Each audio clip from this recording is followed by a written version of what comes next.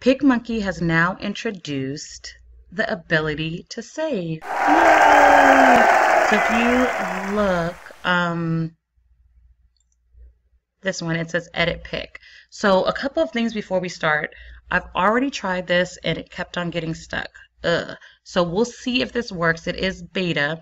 Um, a couple more things that you need to know about using this new feature um, is that you do have to use, have their Royale level of um, PicMonkey. So that means you have to pay $4.99 per month. Really not a lot, totally worth it. I have a link before, below for a free trial. Yay, Nina. I do get referral credit for that. But yeah, it's going to give you some free trial so you can try this out. Again, it is beta, so there are some issues. So let's go ahead and start. I'm going to start with just doing a design.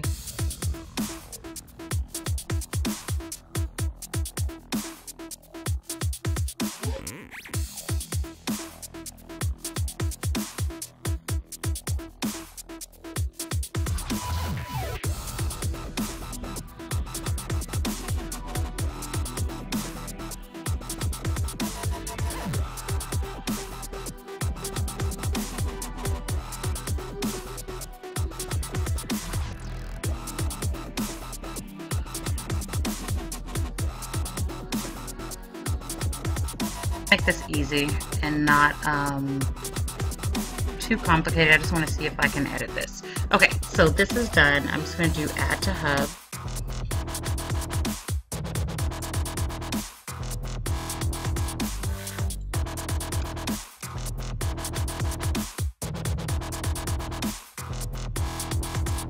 It seems to get stuck at this part, but let's see if it goes any further for me. Oh, there it goes. It saved it. Yay! Had so many problems. Okay, so I'm actually going to close this. Um, and do my X. Okay, and then I'm going to go up to Edit, Hub, and let's see if it's in there. It is in there.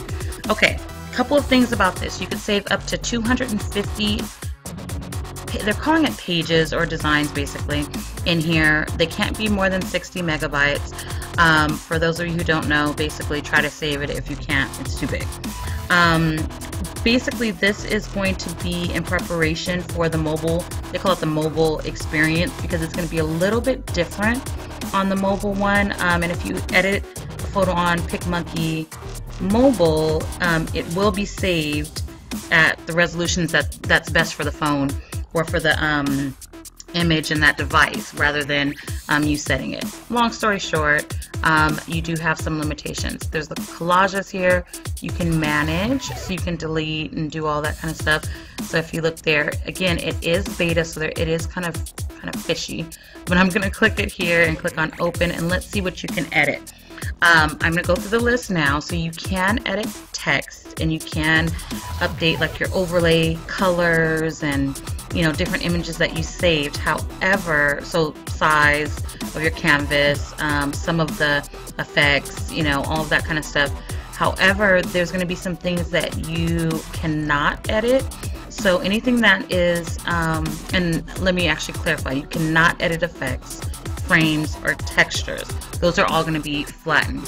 So let me just see what that, so this is fine. The background is fine. This is fine. That's fine.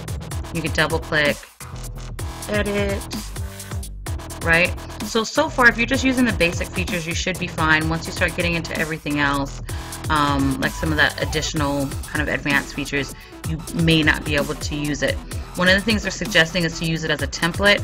I created so many templates, and if you are have been with me from the beginning, you'll notice that I always said save your PicMonkey items along the way. So now I can update it. Um, we don't necessarily have to um, um, save it to your desktop. You could save it in PicMonkey. Notice that now I have a make a copy option. Let's see if it saves it with no issues.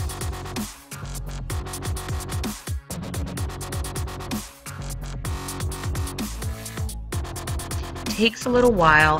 There is a form on their site, so if you are having issues, you can submit the form and let them know that you're having issues. But for the most part, I'm glad they're getting to this point. I feel like they had to probably rush because Canva um, kind of released their, their app, but you know, I could be wrong. Anyways, you know me, I will be posting more and more videos. I use this for the thumbnails of all my um, YouTube channel videos, so expect more. Again, if you want that free trial of PicMonkey Royale, go ahead and click the link below. So what do you think about the new features? Are you going to be using this and saving your images to PicMonkey? Are you going to wait till the beta is over? Do you think you're going to move over from Canva to PicMonkey? Just curious to see how people are going to use this. Leave your comments below and let me know what how you're going to use that and if you have any questions for me. Ciao. Oh, and I almost forgot. Don't forget to share, like, and subscribe. Also, if you like that video, you are really going to like my video on how to promote Instagram posts. Go ahead and click on the description below. The link to the video is in there.